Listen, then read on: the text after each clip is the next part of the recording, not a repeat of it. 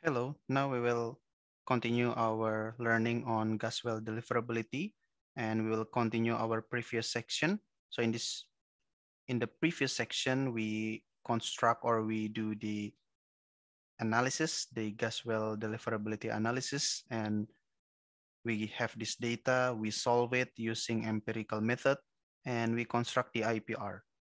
Now, to complicate matters, we will have VLP, several VLPs, vertical lift performance or tubing performance curves, and we have target of production increase of 10%, right? So first, I just copy my previous page here in previous case.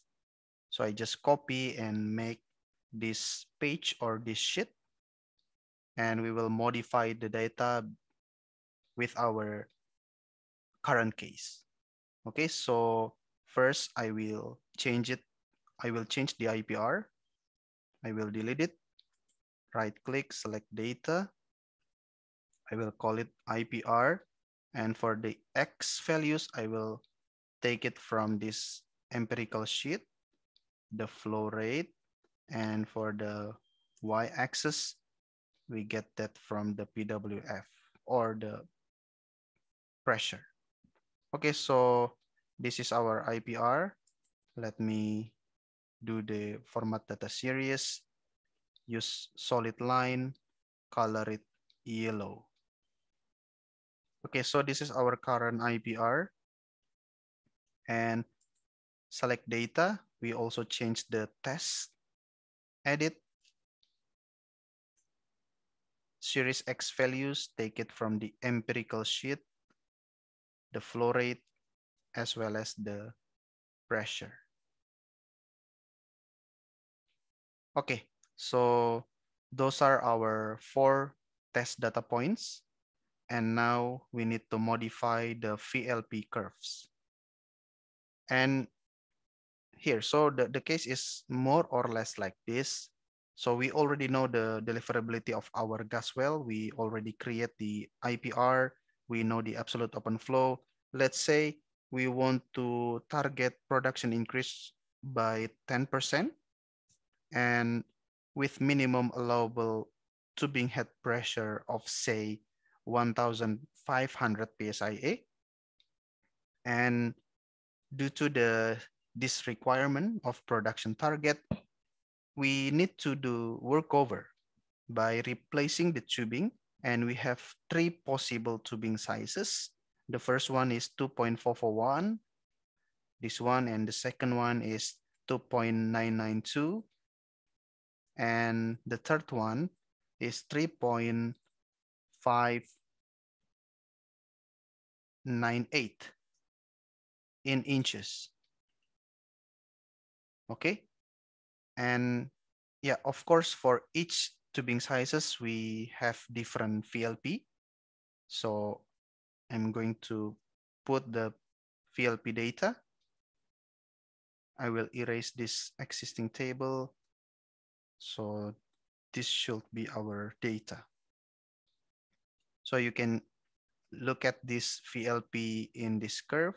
By the way, I want to change the marker. I don't want to use marker. Marker, marker options, none. Okay. And then by the way, this in million standard cubic feet per day. So after 10, 15, 20, 25. And the PWF is this one, 2000. And then 2100, 2350, 2650, 3200. Okay. I will take the pressure from that. So the first VLP for tubing of 2.441 is this yellow curve. And then for the second VLP, I'm going to input the data 10, 15, 20, 25. And then the PWF flowing bottom hole pressure, 7 1800, 2050, 2200, and 2700. So this is our second VLP. And then the last one is 15, 20, 25, 30 with bottom hole pressure of this one, 1800, 1920, and 2000. So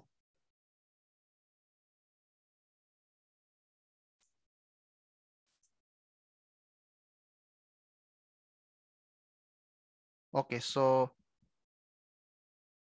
these are our possible VLPs.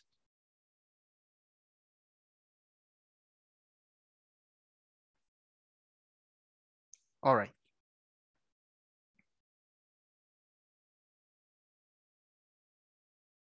Interesting.